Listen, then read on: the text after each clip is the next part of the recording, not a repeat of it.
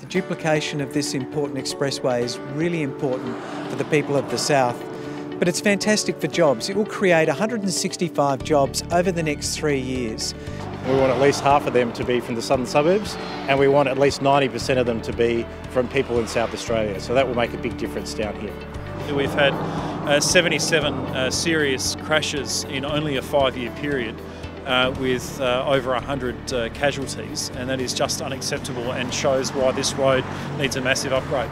You know, we know that this road has uh, presented problems because of the huge growth that we've seen down here. I mean, I'm a local resident. I've been driving this road nearly every day for uh, more than a decade, and the growth in the past two years alone has been staggering. And uh, we've listened to the local community. They wanted a duplicated road between Seaford and Sellicks, and we're going to deliver that.